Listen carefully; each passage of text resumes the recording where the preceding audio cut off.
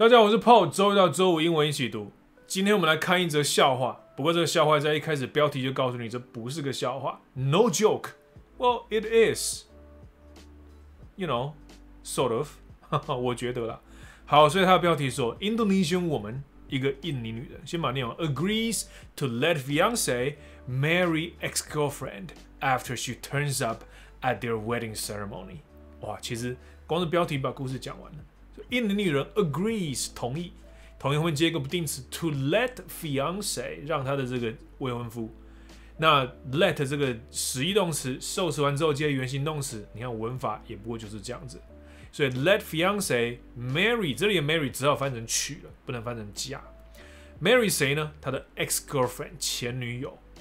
After she turns up，在她出现，这个 she 啊，你不会误会，这个 she 一定是前女友嘛。She turns up at their wedding ceremony，最后来个地方副词，在他们的婚礼，呃，就是婚姻的婚礼典礼上这样子。所以简简单的说，前女友出现在你的婚礼，就还跟你说要嫁给你。然后这时候你的要娶的这一位正在过门的妻子跟你说：“OK 啦，Wow，this is a mind-blowing story，OK，it's mind-boggling。”那我们这里看到一个照片，我看到我就觉得你要倒霉了。这两个女生打扮非常漂亮，不是我们的文化可以想象的这一种新娘的装扮。然后男生三比八，我就看你怎么被榨干掉。好，来直接看下去。这个。这个新闻的写法我觉得不错，它有一个开头，Sharing is caring，or is it？所以有这么一个，呃，我们在口语上会说 Sharing is caring，所以分享分享是好事情，分享就是关心你、爱你。Sharing is caring，押韵。或者真的吗 ？Or is it？好，所以这里内容开始说，One woman in Indonesia gave her blessing for her soon-to-be wedded husband to marry another woman。好。所以给了他的 blessing，这要就是说得到谁的祝福啊？所以 give 呃 someone's blessing，或者有时候我们用 have，所以你想做什么事啊？You have my blessing，就是我愿意 祝福你这件事情。所以 gave her blessing，呃，换句话说，也就是同意了。OK，让他的 soon to be wedded husband，就是他们正好在结婚嘛，就是还不是，就很快要是的老公。Soon to be wedded husband，呃，所以这个 wedded 这个被动形容词就是结了婚了的，来干嘛呢？Marry another woman 来娶另外一个女人。After the latter，latter 是后者，所以另外一个女人，也就是这个后者。那前者叫 former，所以后者呢 turn up 又是来自出现。Unannounced，所以这里 unannounced 就是没有先跟你讲好。所以要是有一个人没有跟你先打电话，就来直接按你家门铃，以前的人会这样哦，邻居来造访。我发现我老爸一个朋友还会做这种事情，就有一个高高先生啊，就在早上八九点叮咚叮咚门铃大响，我说奇怪，怎么会有人早上这样来按门铃？我们也没有叫 Uber Eat，就一一听这个这个话筒，哦，原来是高波波来的这样子，然后说带一条鱼来我家，那很厉害的一个家伙。好，Anyway，这就叫做 show up unannounced，OK，or show up uninvited，OK，所以 uninvited 没有被邀请。或者是没有宣布，unannounced, uninvited. All right, at their wedding ceremony on July 20th. 所以这是上个上个月的新闻。Believing what happened to be destiny, the wife, 20-year-old，她的名字念不出来，said the events unfolded After 啊，这二十一岁这个家伙来了，went to look for her fiance，又来一个名字，我还是念不出来。Korik Akbar maybe asking for him to marry her as well。所以因为有三个名字卡住，我刚刚这个句子念的真的是二二六六的。但我们再看一次，所以它是一个分词构句，它相信着，相信什么呢？相信着发生的事情就是命运，就是缘。所以谁相信呢？主持，主持就是这个二十岁要结婚的这个老婆。All right, so believing what happened to be destiny，前面的部分分词构句。The wife said 说了，OK，这里少一个逗点啊，替他抓住文法错。你看这里一个逗点，逗点包起来，所以老婆是个二十岁的这个女人。逗点 said the events unfolded，所以所以他说了，呃，the event 就是这些一系列的发生事情。unfold 的意思就是我我讲过这个词，就是展开。fold 是折起来，unfold 就是打开。所以在这个眼前的 event 啊展开之后，他相信这是缘。OK，好，所以 went to，所以在在这个另外一个女人，那逗点之后，呃，就是她的动词部分，went to look for her fiance，所以要去找他的这个他的未婚夫，所以 fiance 这个字可男可女哦，未婚妻、未婚夫都可以。所以 after 呃 asking for him to marry her as well，所以他出现来找到他，然后他要求他也娶我吧，这样子。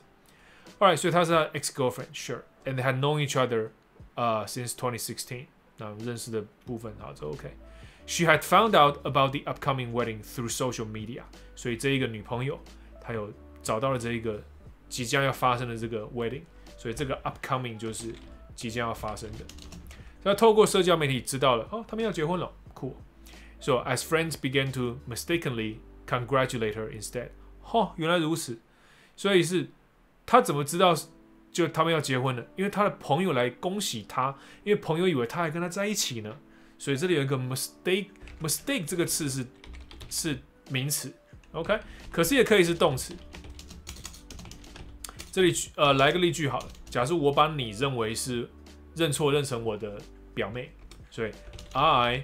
mistook，呃，mistake 是现在式啊，过去式是 mistook。I mistake you for my cousin。我觉得这句现在式就很奇怪，因为我已经我把你搞会搞错成我的表妹了，应该是已经发生过了的，所以用现在式会很奇怪。所以，所以 I mistook you for my cousin。OK，好，所以 mistake 可以当成动词来使用，就是搞错了。但 mistake 的名词就是错误。那呃，所以这里变成一个副词，所以他朋友们 mistakenly。错误的，恭喜他，哎，你要结婚了？没有啊，早就分手了啊，就很奇怪。So because of that, she asked to be his wife as well。呃就因为这样，他就要求，哎，你也娶我吧。这什么逻辑啊？这朋友恭喜你要跟这男生结婚，那我就嫁给他好了。竟然是这样哎，OK？So added that she relented after 他 turn up uninvited at the couple's。呃，这里有个词我认不出来，应该就是他们的那个特殊的 wedding ceremony。呃，Sure，OK。啊，所以他这里来解释，你看是多多贴心啊！所以这里一个 Mararic，对不起啊，I probably butchered the word，Mararic。呃，所以这是一个 traditional bride napping custom for the people of Lombok。这 Lombok 也是一个我不认识的字，对不起。Where the woman is spirited away by her husband before the wedding。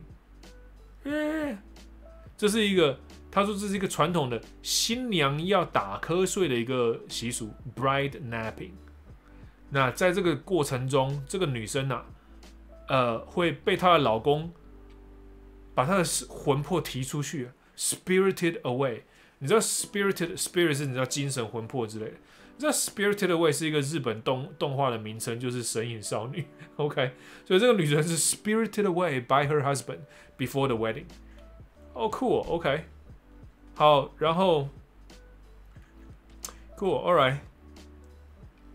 这里还讲了一个好扯的一件事情，就是 the kidnapping。这 kidnapping 就在讲刚刚这件事吗？我都觉得我是不是有把这个新闻看的没有很懂，但无所谓。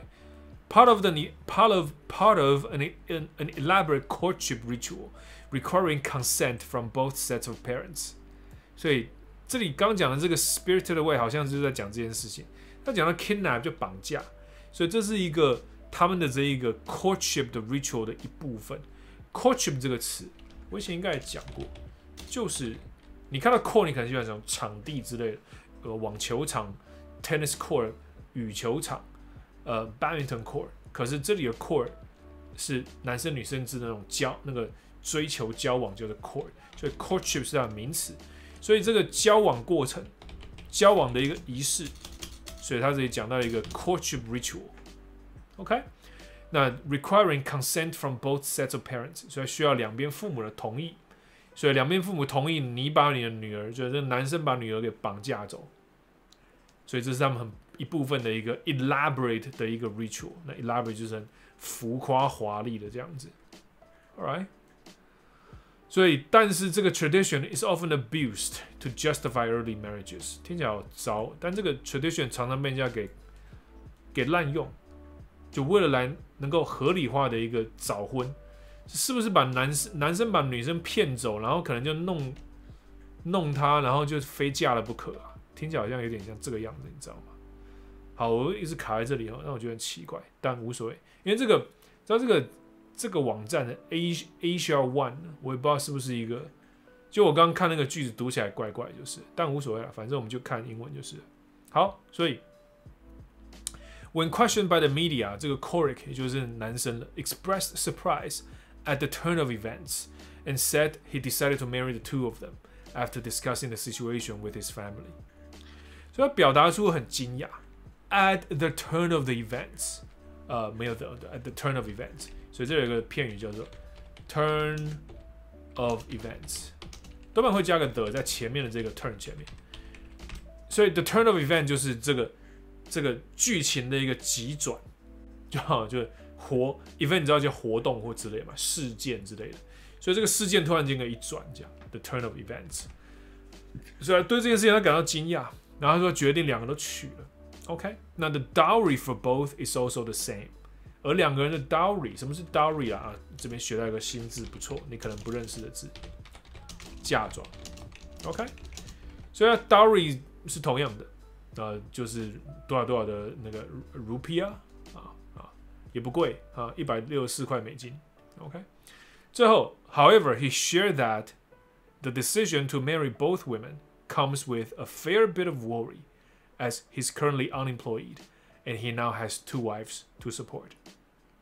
那他现在他也分享，he shared that，呃、uh,，the decision to marry both women，就娶娶两个女人这个决定，comes with a bit a fair bit of worry，所以所以这个决定也有这么一点后来跟随来的一些担忧，所以 X comes with Y，所以就是 X 啊有 y 有随着 x 来，大概是这样反应。OK，所以 comes with a fair bit of worry， 因为他现在目前 unemployed 没工作，然后他有他有两个 wife 要 support，这根本就是古代奇人的故事，不是吗？不是容易的事。好，Anyway，我们这新闻大家就看到这里。我是 Paul，我们下次见。